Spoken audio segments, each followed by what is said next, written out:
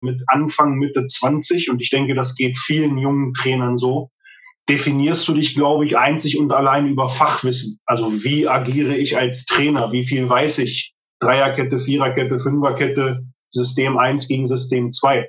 Aber auch hier wieder diese Reflexion und das Bewusstsein, dass du ja eigentlich mit Menschen zusammenarbeitest und diese Menschen überzeugen musst, führen musst und auch begleiten musst.